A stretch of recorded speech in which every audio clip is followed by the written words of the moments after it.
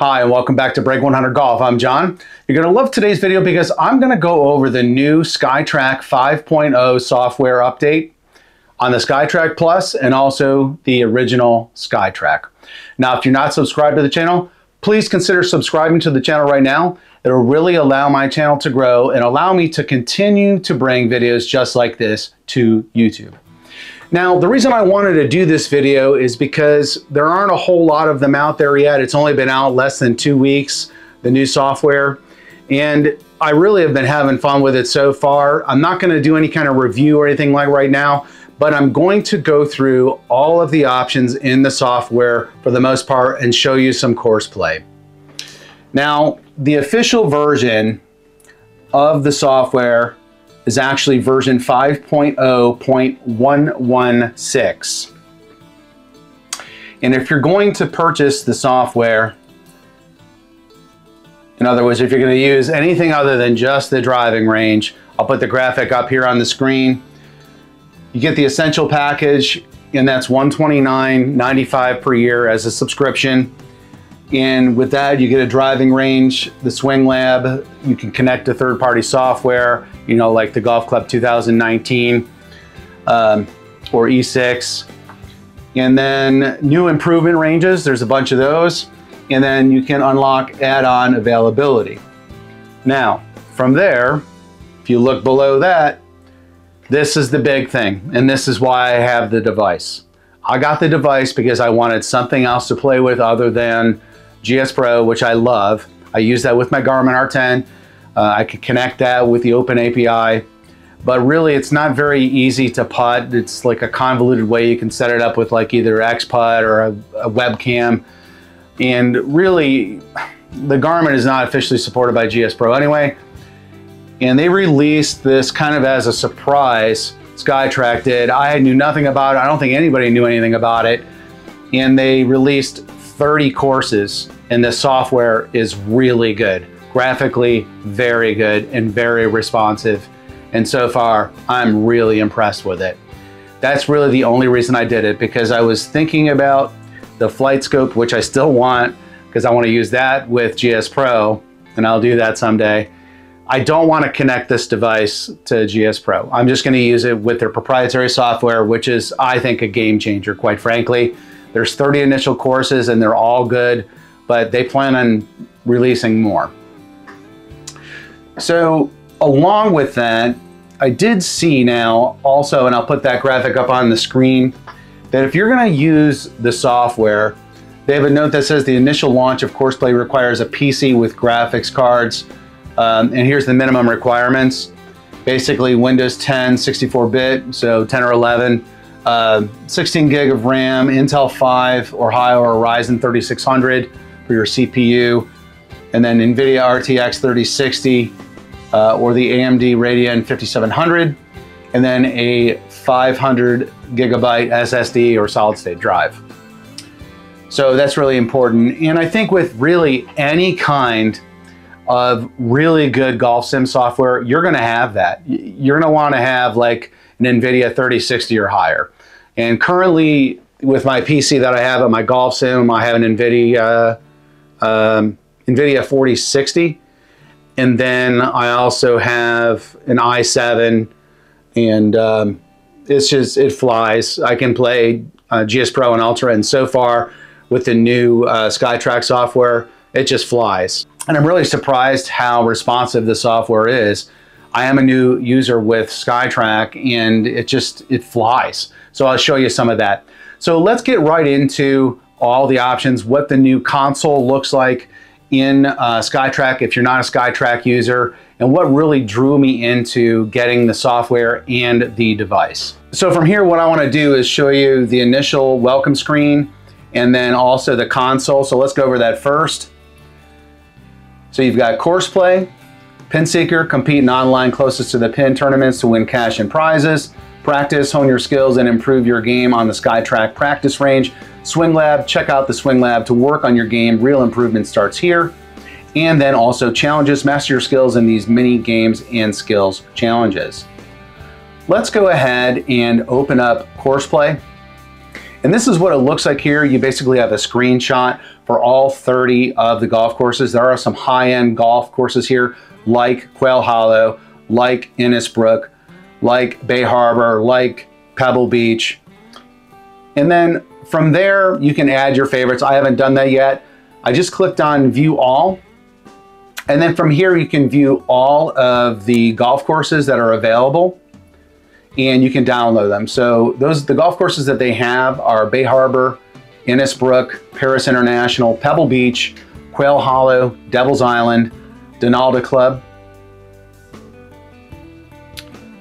Golf Club de, de Geneva, Great Northern, Hawk Tree Golf Club, Hillcrest Country Club, Hudson National, Kea Golf Club, Kissing Tree Golf Club, Lagomar Country Club, Lake Geneva Country Club, Leatherstocking Golf Club, Manasquan River Golf Club, Oakwood Country Club, Oswego Lake Country Club, Pinebrook Country Club, Port Huron Golf Club, Portland Golf Club, Primland Highland Course, Sebonack Golf Club, Shelter Harbor, Sweetens Cove Golf Club, Tacoma Golf and Country, the Aces Club, and the Lost Nine. So that's all of that. Now let's go out of that menu and let's go to Quail Hollow. We'll hit play now. And then from here you can select full 18, front 9, back 9, or custom. So we're going to do that. And we're going to select hole number 4, and I'll select hole number 18. Let's go forward. From here, all you can uh, activate now is stroke play. I'm sure that'll change later. You can do your concede score. We'll just leave it at triple bogey. Mulligans, we'll leave it unlimited. You can do auto putt or putt it out. I'll put it on putt it out. Gimmies will change to three feet. Pin position, you can change that as well. We'll just leave it on medium and then you can change your wind speed and direction. Let's hit next. That's me, Captain Fancy. We'll change it to the blues.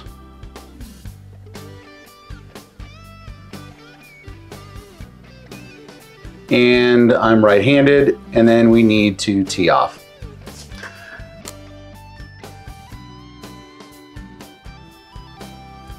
So that just takes a few seconds and that will load up. It'll start in the drone mode and come down to the tee box. This is a par three. 162 yards. Let's go over to the mini map. We'll hit the uh, or collapse for the mini map. Let's hit the expand. Real nice mini map. You can also change your view from full map view to ball and pin view and also green view.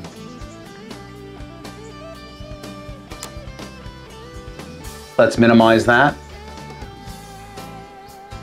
And we'll do a flyover. I love this flyover. The way it backs up to start.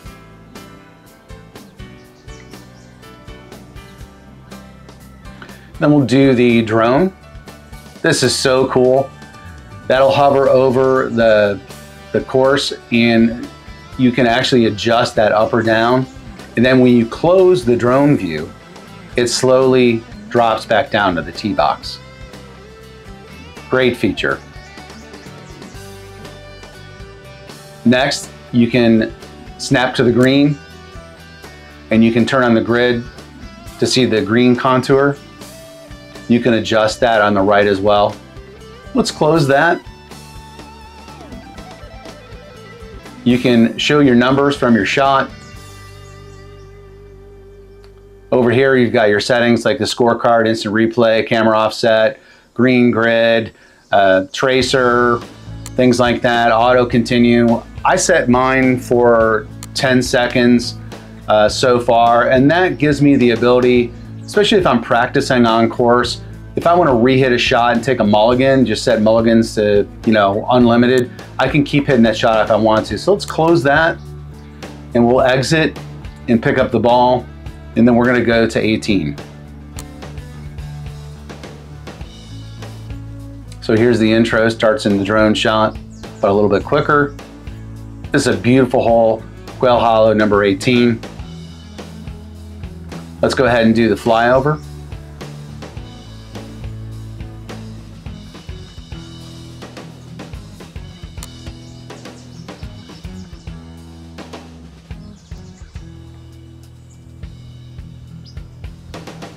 Really cool. The clubhouse looks great. Graphics look great. They look even better when you're playing. Drone view, now you can really see the course on this hole. We'll close that and we'll drop back down. And you can quickly snap to the green as well. And turn the grid on for your green contours.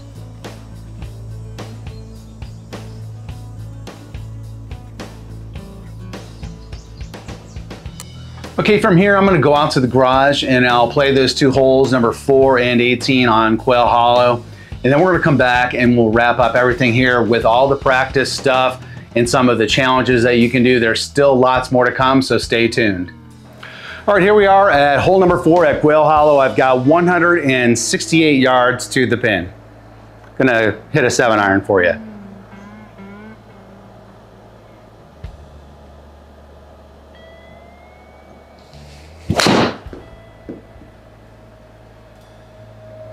That's coming right.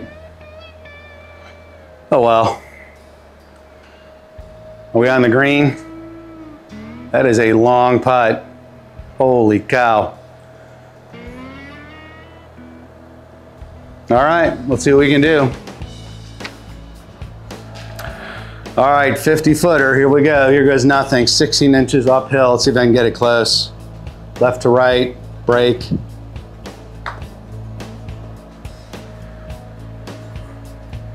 Go, go, go, go. Oh well. All right, best we can do is par if I make this.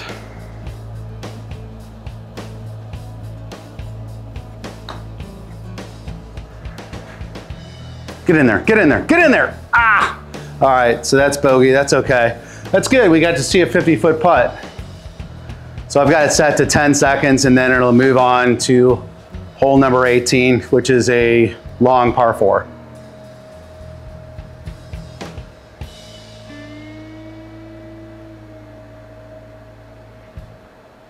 Just great looking graphics. I have zero complaints about the graphics whatsoever.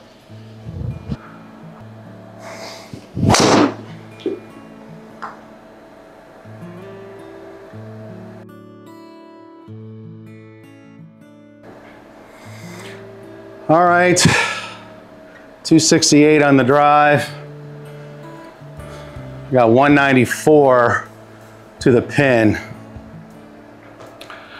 I'm just gonna hit a five hybrid on this one.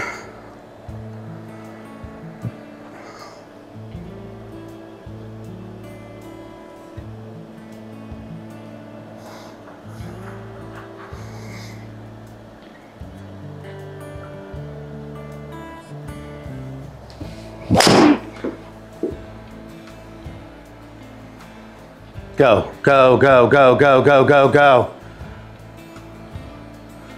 All right, we're on the fringe. 51 feet to the pin. Grab my 60 degree here. All right, I've got a 60 degree. Let's see if we can get this one close.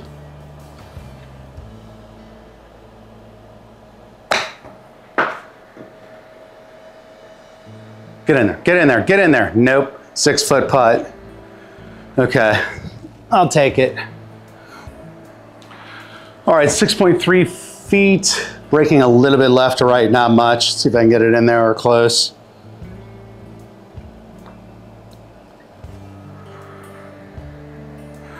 Oh well, that's a gimme. All right, that was a tough one. Long par four, so plus one, plus one. I think you get the gist of it. Absolutely great software. Phenomenal. Let's go back upstairs. All right, we're back upstairs. Let's go over some of the practice utilities.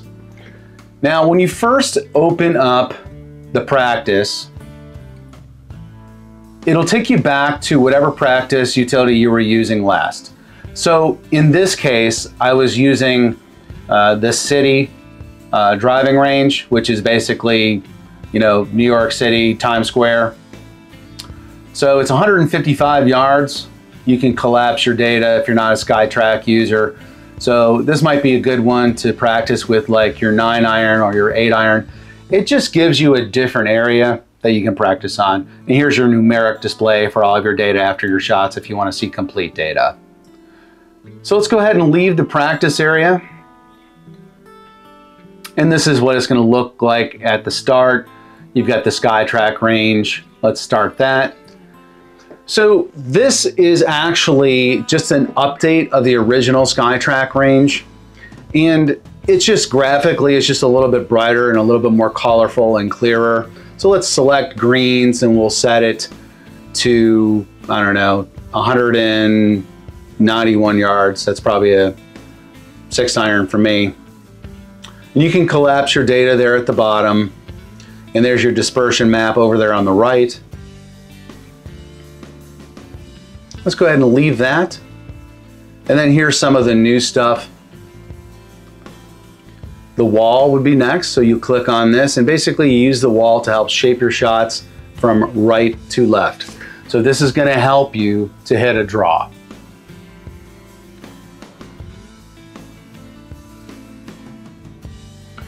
So let's go ahead and select seven iron. So you'll just want to hit it around the wall, hit it to the right and draw it to the left around the wall. It's just a way to practice uh, with being penalized, hitting the wall if you just can't hit a draw. Next, let's go out to the practice area.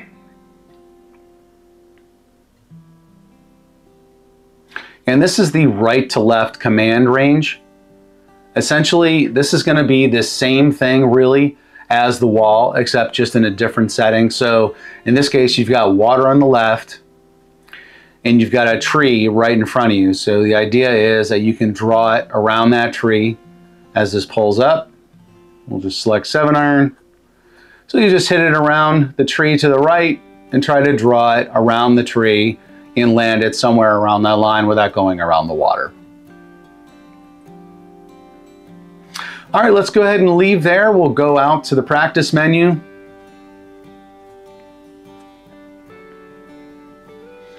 So you've also got the left to right command range. Let's go ahead and start that up.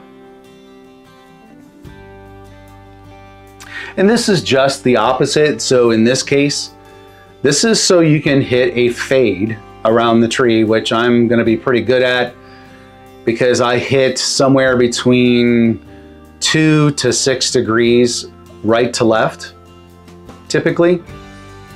So I just naturally have a cut or a fade. Let's go back out to the practice area.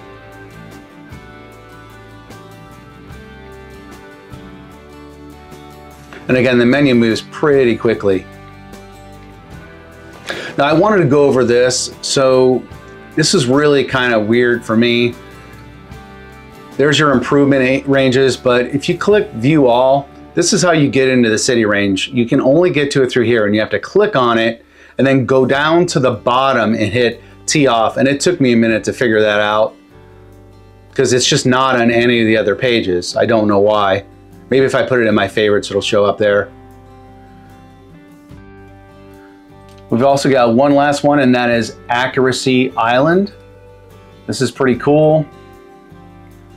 So the idea of this is, is that you've got a 30 yard strip island that is completely surrounded by water to allow you to help to try to stay on fairways and such in narrow fairways especially. So I'll just select a four hybrid. Great graphics and really just a great idea to do this. All right, let's move forward. All right, let's go back from here. Now you've got Swing Lab. I'm not gonna go over this today. I'm gonna do a complete video on that. You've got skills assessment, bag mapping, and wedge matrix. We'll do that with another video. Let's go back. We'll go to challenges. All right, so let's select closest to the pin and single player. Then you can select either three or six shots per round, top score or cumulative. You can do shot progression mode, which most people probably leave it on auto. You hit tee off after you select your distance and your club. And you're good to go. All right, let's go ahead and move forward.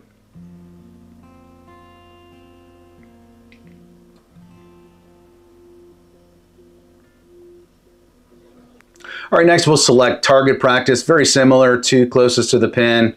I'll just select single player. And it's kind of the same menu. Shots per round, three or six. Select your distance, select your iron, you're good to go for each player. Let's exit out of there.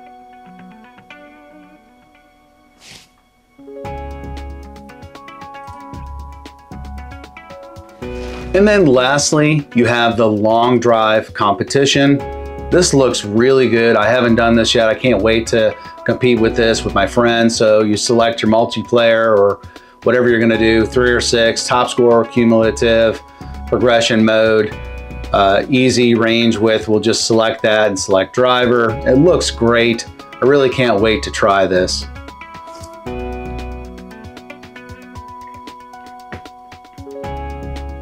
So let's go ahead and exit out of there. All right, so that's gonna be about it for today's content. Um, I'm gonna do a ton of videos with the SkyTrak. I'm gonna go through all the different modes. I'm gonna demonstrate absolutely everything in the upcoming weeks for sure. Uh, if you enjoyed today's content, hit that like button and share with any of your friends that might be interested in SkyTrak or really in golf simulation, period. If you're not subscribed to the channel, please subscribe to the channel right now. Thanks for watching, and I'll see you next time.